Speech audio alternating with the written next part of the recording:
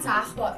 انتشار گزارش های درآمدی بانک های بزرگ هشدار آژانس بینالمللی انرژی در مورد وضعیت بازار جهانی نفت رشد دوباره تورم در امریکا گسترش واکسیناسیون در فرانسه و هشدار بانک مرکزی بریتانیا درباره رمز ارزها. در مشروع اخبار آنچه باید در بازارهای مالی امروز بدانید را به سمع نظر شما خواهم رسید با عرض سلام و شب بخیر. فریبا هستم از شبکه خبری پرسکیز امروز شنبه 13 جولای 2021 برابر با 22 تیر ماه 1400 با اخبار اقتصادی در خدمت شما هستم. مشروع اخبار. شروع فصل گزارش های درآمدی با بانک ها فصل گزارش های درآمدی سه ماه دوم با انتشار بروزرسانی فصلی با مؤسسه ها و بانک بزرگ مالی جی پی مورگان و گلدمن ساکس.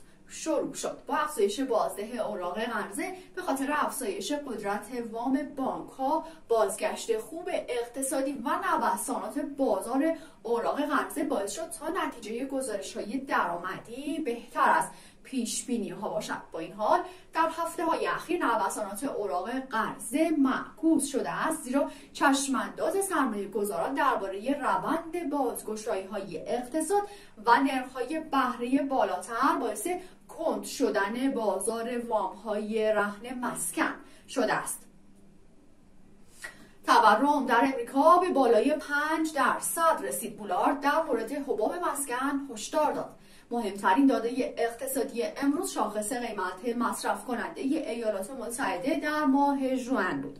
در حالی که انتظار می‌رفت تورم سالانه نسبت به 5 درصد در ماه کاهش یابد رقمی که به شدت تحت تاثیر افزایش قیمت خودروهای دست دوم و سقوط قیمت نفت در بهار 2020 صفر بود به بالای 5 ممیز 4 دهم درصد افزایش یافت. پاول دونوبان اقتصاددان ارشد یو بی اس در یادداشت صبح اظهار داشت که تورم با تعدیل چنین عواملی به یک درصد نزدیک می شود حتی در این صورت بحث در مورد اینکه آیا فدرال رزرو باید سیاست پولی را تشدید کند به طور فضاینده در رسانه ها پخش می شود رئیس بانک فدرال سنت لوئیس جیمز بولارد در مصاحبه با وال استریت ژورنال که در اوایل روز سهشنبه منتشر شد گفت اکنون وقت آن است که با توجه به نقش خرید اوراق قرضه با پشتوانه وام های مسکن در ایجاد حباب در قیمت مسکن شروع به کاهش خرید آنها کنیم. رئیس بانک فدرال نیویورک جان ویلیامز در سخنرانی روز دوشنبه اما نظری عکس بولارد داشت. هشدار سازمان غذا و دارو و جانسون جانسون در حالی که در بازارهای سهام ایالات متحده پس از انتشار گزارش های درآمد بانکی تقریبا بدون جهتگیری خاصی بودند که به طور کلی نمایانگر سلامت اقتصاد می باشد در ساعت اولیه معاملات وال استریت داو جونز دو دهم درصد کاهش داشت نزدک سه دهم درصد رشد کرد و S&P 500 بعد از کاهش اولیه به قیمت بازگشایی برگشت. در بازار ارزها نیز امروز دلار بعد از انتشار داده های تورمی تقویت شد تا قوی ترین ارز روز باشد. و لونیه دلار کانادا با نیم درصد کاهش ضعیف ترین ارز روز بود. علاوه بر این پس از هشدار سازمان غذا و دارو در مورد احتمال ارتباط بین واکسن کووید 19 و یک اختلال عصبی نادر توجه به سمت جانسون جانسون جلب شد. همچنین فرانسه شرکت آلفابت مالک گوگل را به دلیل عدم توافق در مورد جبران خسارت ناشران کشور برای انتشار اخبار آنها 600 میلیون دلار جریمه نقدی کرد. فرانسه و افزایش سرعت واکسیناسیون قبل از اوج فصل گردشگری. فرانسه در تلاش برای کاهش انتقال نوع دلتای کووید 19 در این کشور فشار بر روی شهروندان برای پذیرش واکسن را افزایش داد. رئیس جمهور امانوئل مکرون روز دوشنبه هشدار داد که مردم برای ورود به کافه ها، رستوران ها، سینماها و سایر مکانها مجبور به اثبات دریافت واکسیناسیون یا مسئولیت طبیعی هستند. طبق اقدامات جدید اعلام شده توسط مکرون افراد اگر بخواهند سوار هواپیما یا قطار راه دور شوند باید این کار را انجام دهند. در همین حال روز سهشنبه وزیر بهداشت الیور وران هشدار داد که واکسیناسیون برای کارکنان بخش بهداشت اجباری خواهد بود. فرانسه محبوب ترین مقصد گردشگری در جهان است. با این حال اوج فصل تابستان در زمانی شروع می شود که نوع دلتای کرونا تعداد زیادی را درگیر کرده است.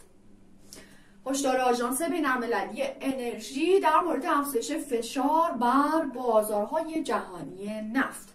در پی هشدار آژانس بینالمللی انرژی درباره اینکه اگر اوپک پلاس اختلاف فعلی خود را در مشخص کردن سهم بازار بین اعضای خود را حل نکند به فشارها بر روی بازار افزوده خواهد شد. قیمت های نفت خام افزایش این آژانس مستقر در پاریس در گزارش ماهانه خود در روز سهشنبه هشدار داد که عدم پیشرفت در مذاکرات باعث تشدید کمبود عرضه با احتمال بالا رفتن قیمت سوخت برای ایجاد تورم و آسیب رسیدن به بهبود شرایط اقتصادی شکننده کنونی می شود. امروز در بازار انرژی معاملات آتی نفت خام امریکا با 7 دهم درصد افزایش به 74 دلار و 60 سنت در هر بشکه رسید در حالی که معاملات آتی برنت با 9 دهم درصد افزایش به 75 دلار و 90 سنت در هر بشکه انجام شد. و در نهایت هشدار بانک انگلیس در مورد سرویس شدن پول ارزهای رمزنگاری به بازارهای اصلی. بانک مرکزی انگلیس در آخرین گزارش ثبات مالی دو ساله خود نسبت به تهدید سرویس شدن ارزهای مجازی به بازارهای جریان اصلی مالی هشدار داده است. در گزارشی که روز سهشنبه منتشر شد بانک مرکزی انگلستان به شرایط نزولی در بازار ارزهای رمزنگاری از ماه می اشاره کرد که شاهد کاهش حدود 50 درصد ارزش بیت کوین بود. با وجود محدودیت امکان سرریز شدن سرمایه از ارزهای رمزنگاری شده. بانک مرکزی اظهار داشت افزایش علاقه به مجموعه های رمزنگاری توسط سرمایه گذاران نهادی بانک ها و اپراتورهای پرداخت نگران کننده است. در این گزارش آمده است. این تحولات می‌تواند ارتباطات متقابل بین مجموعه های رمزنگاری شده و سایر بازارهای مالی سیستمی و مؤسسات را افزایش دهد. قرار گرفتن در معرض ریسک ارزهای رمزنگاری در میان مؤسسات مالی قبلا به عنوان یک تهدید برجسته شده بود. کمیته تصفیه حساب های بینالمللی بانکی ماه گذشته پیشنهاد کرد که بانک ها باید سرمایه را کنار بگذارند تا خسارات احتمالی را به طور کامل پوشش دهند. و اما در بازار امروز ارزهای مجازی بیت کوین نیم درصد از دست داد. اتریوم دو درصد. کاهش داشت. لایت و ریپل هم دو دهم درصد ضعیفتر بودند. با سپاس فراوان از توجه شما عزیزان به بخش خبری از شما دعوت می‌کنم برای دریافت اخبار لحظه به لحظه بازارهای مالی کانال تلگرامی ما را با آدرس ادساین پر اسکیلز نیوز دنبال بفرمایید. شب روزگارتون خوش فرخنده و پیروز باشید.